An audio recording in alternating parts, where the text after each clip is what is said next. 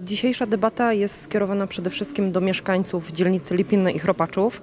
Ma na celu omówienie problematyki związanej z pseudokibicami, bieżących problemów e, mieszkańców właśnie tych wymienionych dzielnic oraz wniosków i spostrzeżeń z debaty poprzedniej, która miała miejsce w marcu 2019 roku. Co dzięki takiej debacie policja e, może e, uzyskać? Czemu ona służy, jeżeli chodzi o funkcjonariuszy? Przede wszystkim poprawie bezpieczeństwa mieszkańców.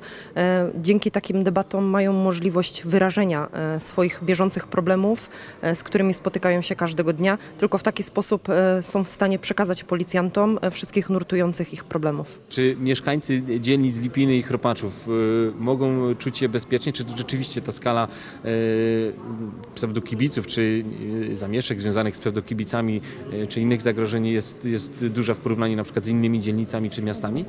E, Na pewno e, występują problemy związane z pseudokibicami, bo mamy takie informacje. E, Tak jak wcześniej wspomniałam, po to jest ta debata, aby mieszkańcy mogli podzielić się z nami swoimi spostrzeżeniami.